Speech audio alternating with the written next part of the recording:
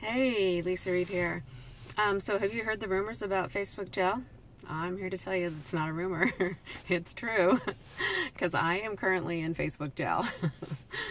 so, I'm locked out of posting in all groups for two weeks.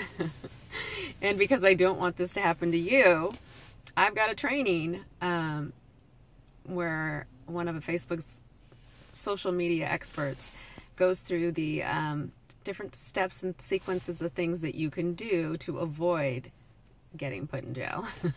and I'm going to give you access to that training for free. I'm going to watch it again because obviously I didn't pay close enough attention.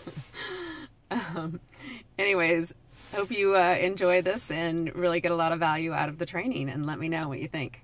Bye.